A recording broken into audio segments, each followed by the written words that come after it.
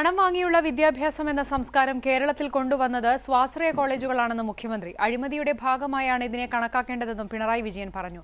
കൊല്ലത്ത് ഒരു പരിപാടിക്കിടെ വെള്ളാപ്പള്ളി നടേശനെ വേദിയിലിരുത്തിയായിരുന്നു പിണറായിയുടെ ഈ പരാമർശം. ദീർഘനാളത്തെ ഇടവേളയ്ക്ക് ശേഷം പിണറായിയും വെള്ളാപ്പള്ളിയും ഒരേ വേദിയിൽ. പുനലൂർ എസ് എൻ കോളേജിന്റെ കനകജൂബിലി ആഘോഷ ചടങ്ങിലാണ് ഇരുവരും ഒന്നിച്ചത്. വെള്ളാപ്പള്ളിയെ വേദിയിലിരുത്തി വിദ്യാഭ്യാസ കച്ചവടത്തിനെതിരെ പിണറായി ആഞ്ഞടിച്ചു. നമ്മുടെ കേരളത്തിലെ ചില മാനേജ്മെന്റുകൾ ചെയ്യുന്നത് എന്താണ് വസ്തുത? കുട്ടിയുടെ പ്രവേശനത്തിന് കാശ് വാങ്ങുക എന്നത് ഒരു കാരണവശാലും ചെയ്യാൻ പാടില്ലാത്തതാണ്. ഇത് നമ്മുടെ വിദ്യാഭ്യാസ രംഗത്ത് വന്നിട്ടുള്ള ഒരു അപജയമാണ്.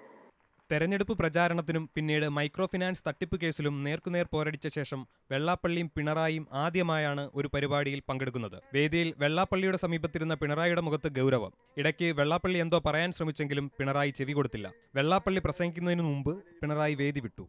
പ്രാദേശിക സി പി ഐ എം പ്രവർത്തകരുടെ എതിർപ്പിനിടയിലാണ് മൈക്രോ ഫിനാൻസ് തട്ടിപ്പ് കേസിൽ വിജിലൻസ് അന്വേഷണം നേരിടുന്ന വെള്ളാപ്പള്ളിക്കൊപ്പം പിണറായി വേദി പങ്കിട്ടത്. ഏഷ്യാനെറ്റ് ന്യൂസ് കൊല്ലം.